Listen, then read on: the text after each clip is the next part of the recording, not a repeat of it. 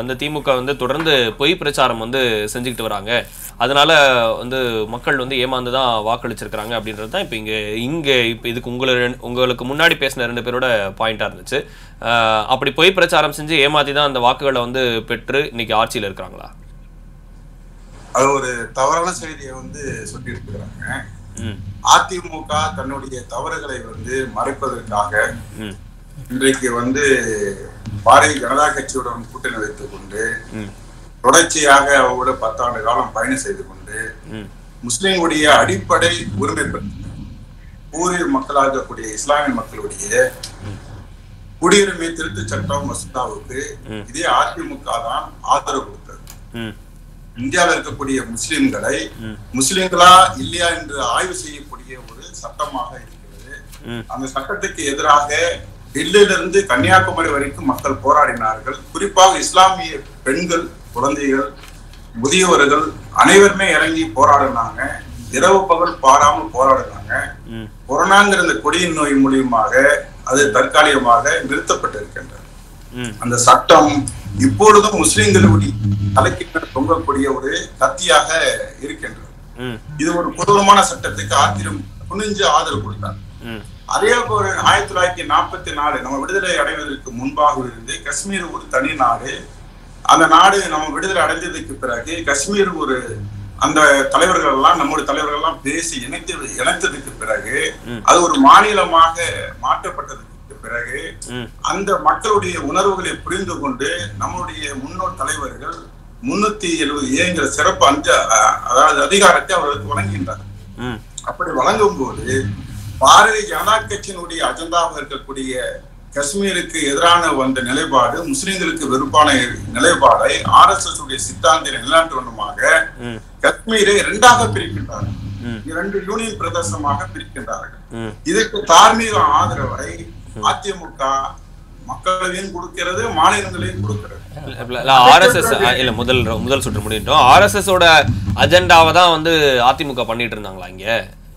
ஆமா அது ஆதரவு கொடுக்கறாங்க. தொடர்ச்சியா நான் சொல்லிட்டே வர்றேன். தொடர்ச்சியா அப்ப அப்படிதான் ஆதரவு கொடுத்தாங்க. அதே போல வந்து முத்தலாக்கு தடை சட்டம் சரி சட்டமா இருக்கக்கூடிய முத்தலாக்கு தடை சட்டம். ஏறத்தாழ முன்னூறுக்கு மேற்பட்ட தடை சட்டங்கள் இருந்தாலும் இஸ்லாமிய மக்களுக்கு நான்கு சட்டம் தனியாக இருக்கிறது. முக்கியமான சட்டம் முத்தலாக்கு தடை சட்டம். முத்தலாக்கு தடை சட்டம். முஸ்லிம் பெண்களுக்கு ஆதரவாக நாங்க இருக்கிறோம் என்று ஒரு பொய்யான ஒரு மாயை பாஜக உருவாக்கியது. நீங்க வந்து பார்த்திருக்கலாம் குஜராத் கலவரம் அதிகமான பெண்கள் பெண்கள் தான் படுகொலை செய்யப்பட்டிருக்கிறாங்க. இதே பார பாஜக மற்ற அவங்களுடைய கள்ள குழந்தைகளா இருக்கக்கூடிய இயக்கம் மூலியமாக. அப்படி இருந்தும் முத்தலாக்கு தடை சட்டத்தை அதிமுகவுடைய கொள்கையில் அஜெண்டாவே இருக்கக்கூடாது இல்லாத ஒரு கொள்கையை அவங்க நிலைநிறுத்துறாங்க. ம். அவங்க ஆதரவு கொடுக்குறாங்க. முத்தலாக்கு தடை சட்டத்துக்கும் ஆதரவு கொடுக்குறாங்க. தொடர்ச்சியாக முஸ்லிம்கள் அதே போல வந்து பாத்தீங்கன்னா இந்த குடியுரிமை திருத்த சட்டத்துக்கு திமுக ஆட்சிக்கு வந்ததுக்கு பிறகு சட்டமன்றத்துல வந்து நிறைவேற்றுறாங்க. அதுக்கு எதிராக தீர்மானம் நிறைவேற்றுறாங்க. அந்த தீர்மானத்துக்கு ஆதரவு கொடுக்காம வெளியிழப்பு செய்த கட்சி தான் இன்னைக்கு அதிமுக. அதிமுக இன்னைக்கு எப்படியா நம்ம ஆட்சி கட்டத்துல நம்ம வரணும்? அவங்களுடைய பிளவுகளை அந்த வாக்குகளை சரி செய்வதற்காக இஸ்லாமிய வாக்குகளை நோக்கி அவங்க நகர்ந்துகிட்டு இருக்கிறாங்க. ரெண்டு பக்கமும் அனைத்து தமிழ்நாட்டு மக்கள் ஓட்டு வாக்களித்தாலும் வெற்றி தோல்வியை நிர்ணயிக்கக்கூடிய சக்தியாக இஸ்லாமிய வாக்குகளும் சிறுபான்மை மக்களுடைய வாக்குகளும் இருந்து கொண்டிருக்கின்றது. முழுக்க முழுக்க சிறுபான்மைகளுக்கு எதிரான கட்சியாகத்தான் கடந்த காலத்தில் அதிமுக இருந்திருக்கிறது. வாழ்வாதார பிரச்சனை நாட்டுடைய பூரிய குடிமக்களாக கூடிய மண்ணின் மைந்தர்களை குடியுரிமை திருத்த சட்டம் யாரும் மறுக்க முடியாது. அதே போல சொன்னாங்க ஏன் பத்து வருஷம் அதிமுக ஆட்சியில சிறைவாசியில விடுதலை செய்யல? தொடர்ந்து போராட்டம். மனிதநேய மக்கள் கட்சி அப்படி தாய்க்கிழமா இருக்கக்கூடிய தமுக தான் தொடர்ச்சியாக போராடுகிறது. இன்னைக்கு சொல்றாங்க. எத்தனை பேர் இருக்காங்க தெரியுமா? இன்னும் இப்ப பத்து பேர் தான் கர- கரண்ல உள்ள இருக்கிறாங்க. இது தெரியாது நிறைய பேருக்கு நாங்க வந்து அரசாங்கம் வந்து சில விஷயம் ஆதிநாதன் குழுவே வந்து எதையுமே விசாரிக்கல அப்படின்னு தடா ரஹீம் வந்து சொன்னாரு. அவர் உள்ள இருக்கிறவங்கள்ட்ட நான் பேசினேன். அப்படி எந்த விசாரணையுமே ஆதிநாதன் குழுவே செயல்படவே இல்லைன்றது அவரோட குற்றச்சாட்டா. ஆதி ஆதினானுடைய அந்த குழுவை அமைப்பு அமைப்பதற்கு கோரிக்கை வைத்தது எங்களுடைய தலைவர் பேராசிரியர் பாபானச சட்டமன்ற உறுப்பினர் பேராசிரியர் ஜவஹர்லால் அவர்கள். அவருடைய சட்டமன்றத்தில் முதல் கேள்வியும் நடுக்கேள்வியையும் இறுதியாக இறுதி கேள்வியுமாக தொடர்ச்சியாக சிறைவாசிகளுக்காக கோரிக்கை வைத்தார். அது முயற்சியாகத்தான் இன்னைக்கு ஏறத்தாழ பதிமூணு சிறைவாசிகள் இன்னையிலிருந்து இன்றைக்கு வரைக்கும் வெளியில வந்துட்டு இருக்கிறாங்க. இத வந்து பொருத்த முடியாத சில தீய சக்திகள் அவரை என்ன செய்யறாங்க சிறைவாசியில வச்சு அரசியல் பண்ணிட்டு இருக்காங்க. நாங்க வந்து சிறைவாசிக்கு ஒரு மேட் அது ஒரு பாட்டு. அந்த மக்களை வெளிக்கொண்டு எங்களுடைய கடமை. அந்த கடமையை கச்சினமாக சமூகத்துக்கு நாங்க செஞ்சுட்டு வர்றோம். அதை செஞ்சுட்டோம். நூத்தி அறுபத்தி ஒண்ணை பயன்படுத்தி நூத்தி அறுபத்தி ஒண்ணை பயன்படுத்தி யாரையுமே கேட்காம வெளியே எடுத்துட்டு வந்துட முடியும் அப்படின்றது தான் இப்போ தடராகிம் வந்து சொன்னார். அப்புறம் எதுக்கு நீங்க அதை வந்து தீர்மானமா நிறைவேற்றி அதை ஆளுநருக்கு எதுக்கு அனுப்பி எதுக்கு வெயிட் பண்ணணும் அப்படின்னு கேக்குறாங்க. நீங்க நீட் தேர்வை நம்ம தீர்மானமா நிறைவேற்றி கொடுத்தோம். ஆளுநர் இல்ல இல்ல யார வேணாலும் விடுதலை பண்ணலாம். நூத்தி அறுபத்தொன்னு நூத்தி அறுபத்தொன்னு பயன்படுத்தி யார வேணாலும் விடுதலை நீட் நீட் வேற. நூத்தி அறுபத்தொன்னு பயன்படுத்தி தமிழக சட்டப்பேரவையில வந்து மாநில அரசுக்கு அந்த அதிகாரம் இருக்கு அப்படின்றது தான் அவங்க ஒரு வாதமா வைக்கிறாங்க. அதை ஏன் பண்ணாம நீங்க ஏன் ஆளுநர்கிட்ட போறீங்க? நீங்களே டைரக்டா பண்ணிட வேண்டியதானே அப்படின்னு கேக்குறாங்க. உண்மை.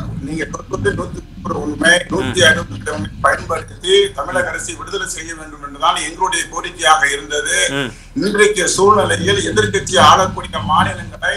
ஒடுக்க கொண்டு ஒடுக்குகின்ற முறையை பாஜக அரசு செய்து வருகிறது. இது கண்கொள்ளாக நாம் பார்த்துக்கிட்டு இருக்கிறோம். அதுதான் சார். நீங்க கவர்மெண்ட்டே போக வேண்டாம் அப்படின்னு சொல்றாங்க. நீங்களே டைரக்டா சிஎம்ஏ டைரக்டா பாஸ் பண்ண முடியும்னு சொல்றாங்களே அதை ஏன் பண்ண முடியலன்னு கேக்குறேன். பண்ண முடியாத சூழ்நிலைக்கு ஒன்றிய அரசு இருந்துகிட்டு எங்களுக்கு அந்த ஆதங்கம் இருக்கு. ஒன்றிய அரசுக்கு எதிராக சில விஷயம் செய்ய முடியாத சூழ்நிலை இன்னைக்கு தமிழக அரசு இருந்துகிட்டு இருக்கு. ஆனாலும் இன்னைக்கு சிறைவாசிகள் வெளியில வந்திருக்காங்களா இல்லையா? இன்னைக்கு எத்தனை பேர் இருக்காங்க சுப்ரீம் கோர்ட்ல அப்பீல் பண்ணக்கூடிய பத்து பேர் தான் உள்ள இருக்கிறாங்க. இன்னைக்கு அவ்வளவு பேர் வெளியில வந்திருக்கிறாங்க. ஒன்றிய அரசு வந்து தீவிரம் பதினாறு பேர் இருக்காங்கன்னு இஸ்லாமிய. போயிடலாம். இல்ல ஒன்றிய ஒன்றிய. ஒன்றிய அரசால செயல்பட முடியாத அளவுக்கா வந்து ஒன்றிய அரசு வந்து திமுக செயல்பட விடாம அவ்வளவு அவ்வளவு ஃபோர்ஸ்ஃபுல்லா தடுக்கிறாங்களா? அதை அதை ஹேண்டில் பண்ண முடியலையா திமுகவால தமிழ்நாட்டுல? திமுக எதிர்கொண்டுகிட்டு இருக்கிறாங்க எதிர்கொண்டதுனால தான் இத்தனை சிறைவாசிகள் விடுதலை ஆகிட்டு இருக்கிறாங்க. சரி. சிறைவாசிகள் மேற்ற வந்து இதுதான். இன்னும் பத்து பேர் இருக்காங்க. என்னுடைய கிரிப்பில் அவங்க வெளியில வந்துருப்பாங்க. இல்ல இப்ப இபிஎஸ் இபிஎஸ் சொன்னதுக்கு வந்து இல்ல இல்ல ஒரு நிமிஷம் முடிச்சிட்டோம் இபிஎஸ் சொன்னதுக்கு வந்து இப்ப சிறுபான்மையினுடைய மக்களை வந்து இனிமே ஏமாத்த முடியாது அப்படின்றதுக்கு உங்களுடைய முதல் கருத்து என்னவா இருக்கு? சிறுபான்மை மக்களை ஒருபோதும் இவருக்கு ஏமாற்ற முடியாது. இவங்க வந்து? சந்தர்ப்ப சூழ்நிலையின் காரணமாக தன்னுடைய கட்சி பிளவுபட்டதன் காரணமாக. அதை சரி செய்வதற்காக சிறுபான்மை மக்களை ஏமாற்றி நினைக்கின்றார்கள். ஒருபோதும் கரசேவைக்கு ஆதரவு அனுப்பி வைத்த இந்த இயக்கம். முஸ்லிம்களுக்கு இடஒதுக்கீடுக்காக எதிராக இந்த அவை ஒருபோதும் சிறுபான்மை மக்கள் ஏற்றுக்கொள்ள மாட்டார்கள்.